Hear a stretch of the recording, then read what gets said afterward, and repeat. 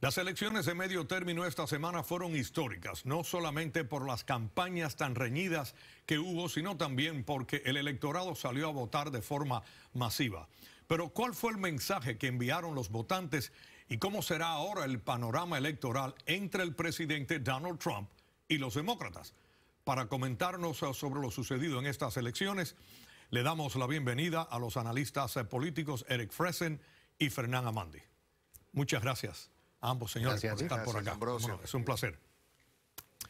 Voy a comenzar por los demócratas que ahora han obtenido mayoría en la Cámara de, Representantes. Estamos hablando de alrededor de 230 podrían haber ya cuando todo esté eh, listo, ¿no? Eh, y los eh, republicanos pasaron de los 51 escaños que tenían en el Senado ahora a unos 54 eh, con mayoría en el Senado. El presidente Trump dijo esta semana que él creía que ahora con un gobierno dividido podrían sentarse e incluso pasar eh, leyes y demás. Y felicitó varias veces a la líder de la minoría, Nancy Pelosi. ¿Creen ustedes que vamos a ver un ambiente mejor a pesar de que los demócratas tienen la Cámara los republicanos el Senado o va a haber una guerra abierta? Bueno, creo que no va a haber una guerra inmediatamente.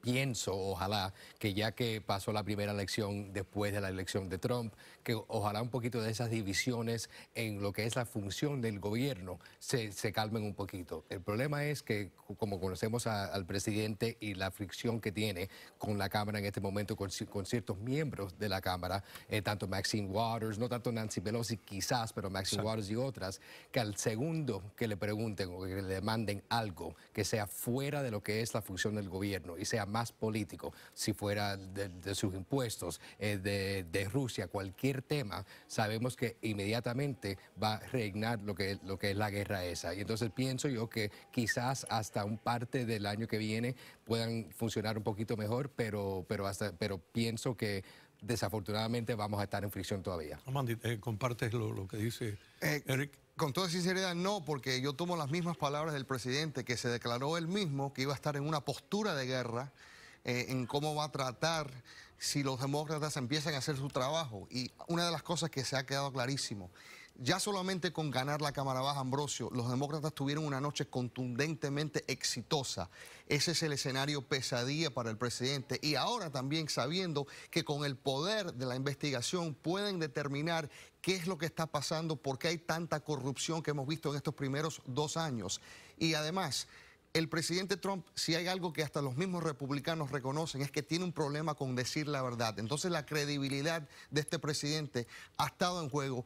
Pienso que es lo que está tratando de hacer ahora y lo hemos visto con los episodios muy dramáticos en estos últimos días desde que se dieron a cabo los resultados. Se siente bastante desesperado este presidente.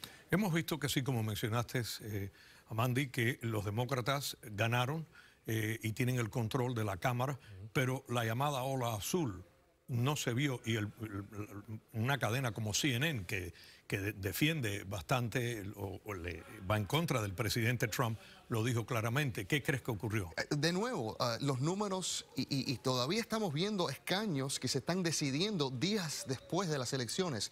Vamos a fijarnos en un número preciso.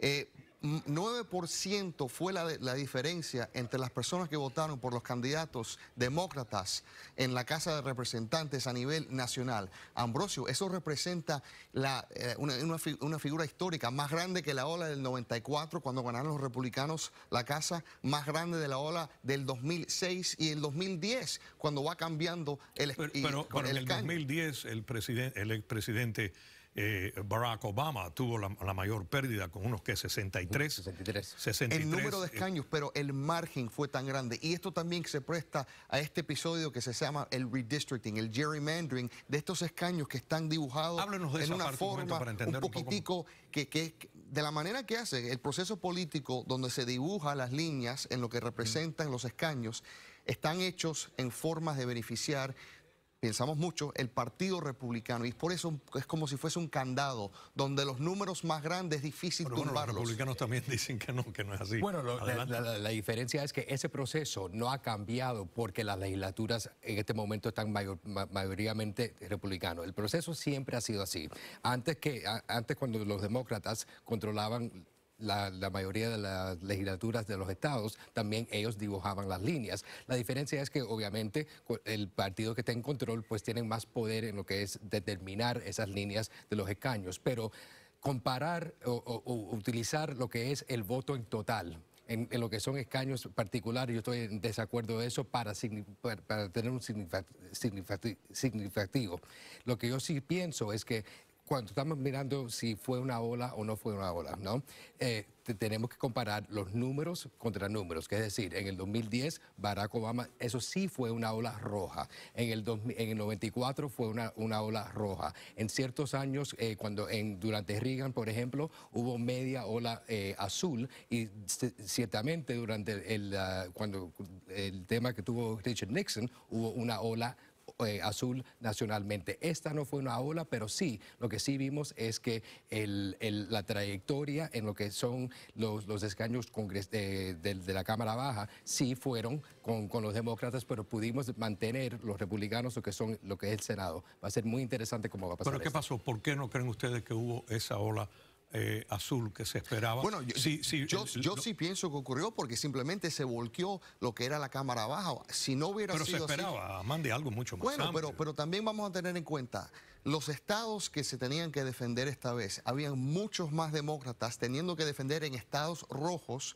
mientras tanto en el 2020 cambia el panorama. Y ahí sí yo creo que va a ser muy difícil para los republicanos aguantar si vemos a las mismas condiciones de votación que vimos el martes ¿Estás pasado. de acuerdo con eso, Eric? Puede ser, pero también de, de la manera que no estoy de acuerdo es porque ya en el, en el 2020 es un año presidencial y eso cambia. eh, Para mí, comparar un año de, de medio término con un año de votación presidencial es completamente diferente. Sí van a haber más escaños que en este momento tienen representación republicana en estados que esta vez parece que tuvieron más votación demócrata, pero también esos son mismos estados que en el 2016 ganó Donald Trump. Así que en, ese año sí va a tener mucho más impacto dónde está Donald Trump en, en lo que es el pensamiento del país y más que nada la- el tipo de campaña que haga Donald Trump Y, en el y- y lo, 2020. de la, lo de la ola eh, azul, eh, no lo digo yo, están los números, pero las cadenas americanas que defienden eh, o que no defienden al presidente Donald Trump lo dijeron, dijeron algo pasó aquí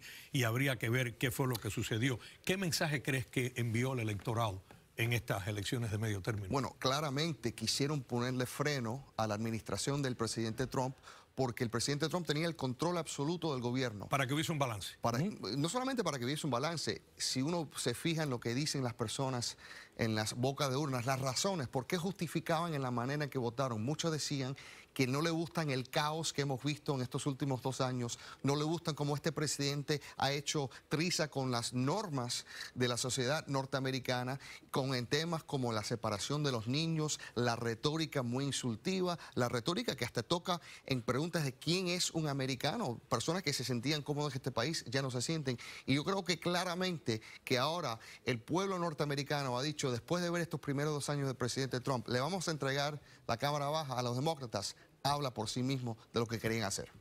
Pienso yo que en, cada, en cada campaña, ¿no? en cada año de medio término, las razones por qué la gente crea en el balance ese electoral son diferentes. Esta vez quizás muchas de las razones que acaba de men- mencionar Fernán es lo que es la angustia que tiene el votante que votó en contra del Partido Republicano. En el 2010 eran otras razones, pero históricamente lo que pasó este año es esperado. Todo el mundo. Claro. Ahora, ¿de qué, ¿de qué tamaño iba a ser el cambio ese? Es donde dicen las otras cadenas que no fue tanto una ola, Exacto. sino, sino la, lo que la curva refería, natural. La de- de curva natural que sucede del- en- que en las sucede elecciones de medio término. Pero yo creo que vale la pena también entender el contexto donde esto pasa.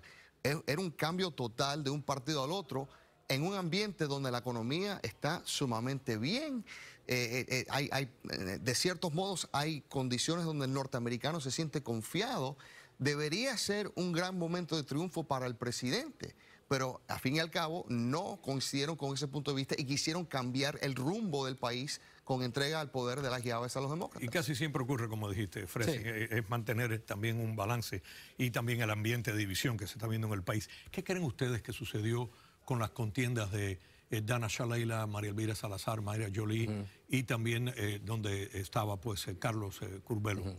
Bueno, yo creo que fue eh, el balance que antes se esperaba en distritos demócratas, porque vemos que la participación, la registración en el distrito 27 y 26 se inclinaban a los demócratas. Ahora que vimos candidatos fuertes de peso demócratas, se lo llevaron. Y yo creo que eso se explica, eh, sinceramente, por qué perdió en el caso del señor Curbelo. Él estaba intentando de, de presentarse como un republicano que rechazaba al presidente, pero al mismo tiempo votaba con el presidente. Inclusive en ese distrito hubo una participación enorme, Ambrosio, de personas que estaban inscritos en el Obamacare. El señor Curbelo votó en contra. Ese tipo de cosas yo creo que lo dejó fuera y por eso perdió su escaño. ¿Qué opinas? ¿Por qué, Sí, por qué igual, mira, en el 27, el que era de Iliana, es- Exacto. es- ese es mucho más simple de explicar. Se fue Iliana. Ese, ese, ese escaño por muchos muchos años ya tenía muchos más demócratas registrados ahí que republicanos. Así que nosotros, los republicanos, sabíamos que en, en el momento que sali- saliera. Era muy difícil, era muy difícil mantenerlo. El de Curbelo era más eh, morado como distrito y era muy difícil, como dijo eh, Fernán, en un año en que hay un momentum que es eh, para los demócratas y además tener una candidata en este, en, en este ejemplo que tenía los fondos para defenderse o para tratar de coger el, el- el escaño ese. La, la batallita que tenía Curbelo fue muy difícil, pero eh, hasta, hasta el mismo punto, él sí, por ejemplo, sacó un 49% del voto, en el, en el cual un Ron DeSantis en el mismo, en el mismo escaño sacó 45, los otros republicanos hasta 42, 43, que es decir, Curbelo casi logró mantener un escaño en el cual los republicanos perdieron por mucho más de lo que perdió Curbelo. no, no, nos queda poco tiempo. Eh, ¿Qué opinan sobre lo que dijo el presidente Donald Trump de que eh, los republicanos que perdieron en la Cámara y mencionó a Curbelo fue porque no se unieron a él y estaban distanciándose de él? ¿Qué opinas? Bueno, te, te habla del carácter de este señor, donde a la salida de republicanos de su propio partido, que, que hicieron un trabajo público, en vez de saludarlo, darle las gracias, los insulta a la despedida. Y yo creo que es por eso que vimos hasta los mismos republicanos retar a ese presidente en la salida. Uno de ellos dijo hoy que eso estaba fuera de serie y que no encajaba que un presidente de los Estados Unidos actuaba de esa forma. ¿Cómo lo ves? 30 segundos. De- de- yo- simplemente lo que acabo de explicar, que, que, eh, en el seguro en los ejemplos de aquí de, de, de pero Miami, de pero Florida, era un momento en, en ser republicano completamente y ser demócrata completamente, estar en el medio no iba a funcionar. No, lo, lo- lo que pienso yo es que sí funcionó. Por ejemplo, para Curbelo. Que se acercó que bastante. eh, los que se acercaron más al presidente Trump en el distrito de Curbelo sacaron menos votos que Curbelo. Que es decir, él lo hizo en una manera que pienso yo que fue estratégicamente inteligente. 10 segundos cada uno. Vamos a ver guerra o negociación. El acto de negociación, pero después guerra. Guerra. Muchas gracias, ambos, por haber estado acá en el programa. ¿Cómo no?